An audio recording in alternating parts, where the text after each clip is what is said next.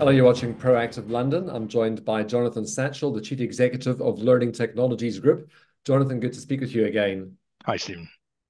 Uh, so, Jonathan, you've published your 2023 results today, and you described your performance as resilient against the macroeconomic backdrop. Take us through some of the financial highlights in that uh, circumstance. Sure. So we're very moderately down on last year, I mean, one two percent, uh, and have still delivered very substantial profits, ninety-eight uh, and a half million pounds on about five hundred and sixty million pounds of revenue. Um, and I do fear that the the word resilient is somewhat overused, but I think it's very appropriate for this sort of stable, resilient, robust, whatever you like. Um, and it's tough out there. Um, you know, we saw a, a, significant decline around about this time last year in corporate sentiment in, in across the world, actually, but um, again, including the US as well.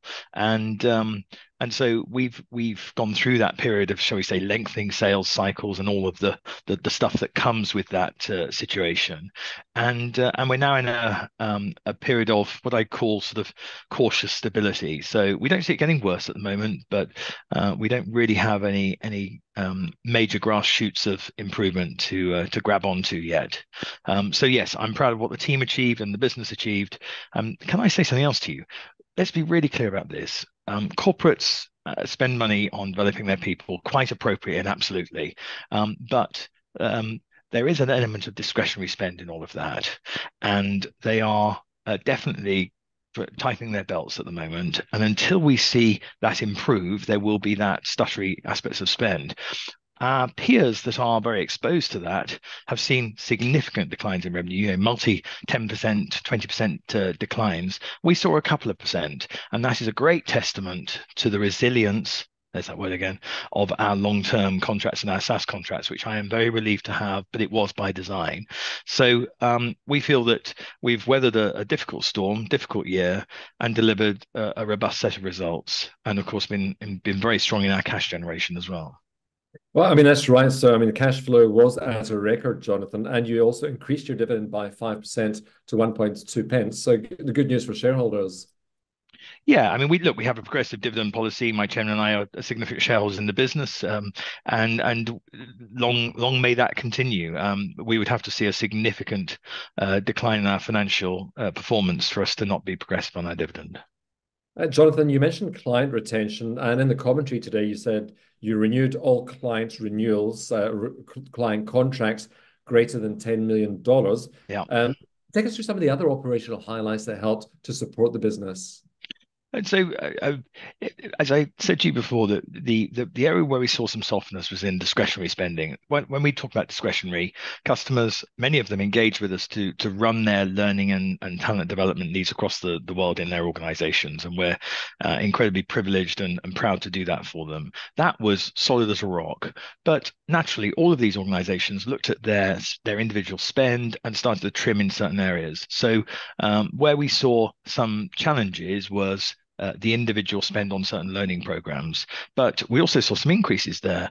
Um, uh, US government spending, for instance, increased, and we saw some growth in uh, Latin, Latin America in particular, and also in the Middle East, although I'm a little concerned about whether we'll see continuing growth in the Middle East given the current situation. Um, but, you know, we, we saw a, a, a, fairly balanced and broad picture of, of, of different, uh, different growth rates and, and different stories across the market. Something else you highlighted in the commentary was GP Strategies, which has more than doubled profit since you acquired it back in 2021. And yeah.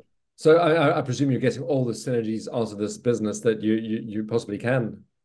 Yeah, and and to be clear, some of them are synergies with LTG, but not a lot because we have to be very respectful of running that business as an independent business because it's a we're the foreign owner of a US business that is doing a lot of sensitive work for the US government. So we don't get a, a, lot of synergies other than the fact that they provide some services to us, which is synergistic. Um, but where we've really achieved, and actually more importantly, it's not us, it's them, uh, it's the GP team and leadership team, um, is in the commercial transformation program. This business was always outstandingly good at delivering customer service.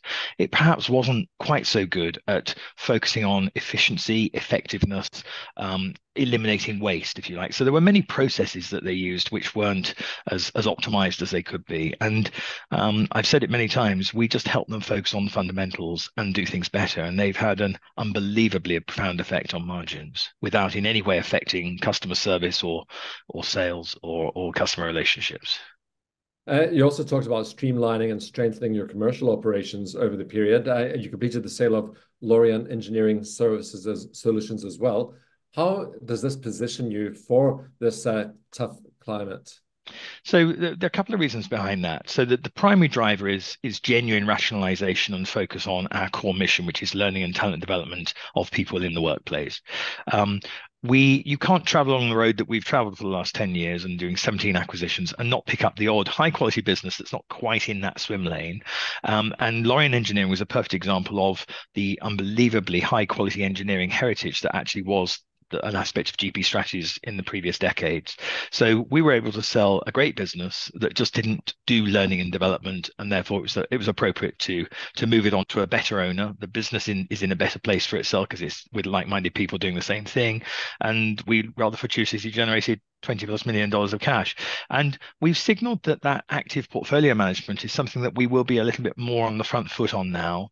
Um, we don't have many businesses that don't fit uh, our, absolute sort of tight mission parameters, but there are a few, and and we will look to see what the opportunity is for those going forward. And think of the secondary aspect. It's not just about uh, focusing in on on learning and talent development. It's also about saying we're in a very unusual environment. You know, we're not in a recession, but times are difficult, commercially challenging, and so on. And also, of course, we're in a higher interest rate environment. Leverage is very focused on. I'm immensely proud of our swift deleveraging from 141 million to 78 million in two years. Um, but we do want to continue to be acquisitive. So if we can do some clever recycling of cash to enable us to spend some of those proceeds on new acquisitions that are absolutely within what we do, then I think that's really rather sensible. Uh, Jonathan, take us through some of the, the additional revenue opportunities you're seeing, particularly coming from AI. Yeah.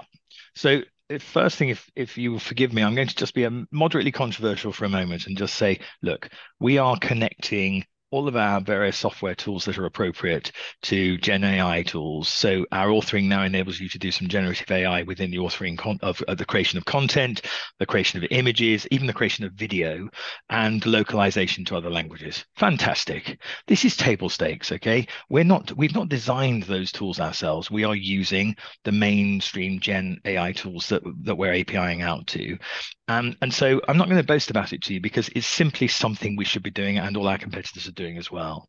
Where we're looking at where we can differentiate ourselves with AI is in not Gen AI, but mainstream AI, uh, in, in terms of the way it handles and assimilates very large data sets from multiple sources and then discerns really meaningful insights through those data sets. And what we're trying to answer for ourselves are three questions.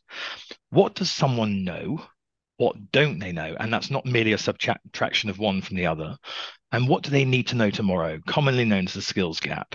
And believe you me, every C suite person asks us the question, you know, how do I develop my people to be competent for the future? And how do we even know what the future needs? There are so many different challenges wrapped up in those questions. They sound simple, they're super hard to answer.